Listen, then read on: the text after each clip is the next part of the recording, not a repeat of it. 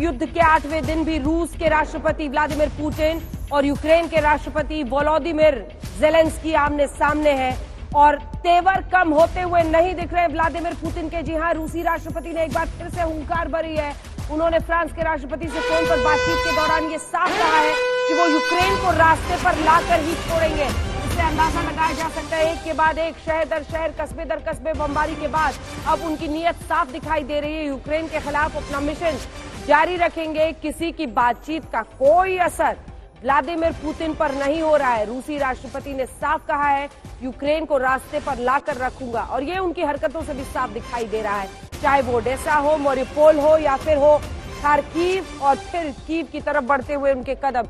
इस बीच एक और खबर इस वक्त आ रही है। यू, रूस, यूक्रेन जंग के बीच क्वाड की बैठक शुरू हो रही है। बैठक में प्रधानमंत्री मोदी और जो बाइडेन भी मौजूद। अमेरिका, ऑस्ट्रेलिया, जापान और इंडिया क्वाड के सदस्य हैं। रूस, यूक्रेन जंग के बीच क्वाड की ये बैठक बेहद अहम मानी जा रही है। बैठक में प्रधानमंत्री मोदी और बाइडेन भी मौजूद है। प्रधानमंत्री नरेंद्र मोदी और भारत का स्टैंड अभी तक निष्पक्ष रहा है इस पूरे मामले में। तटस्थ हम रहे हैं।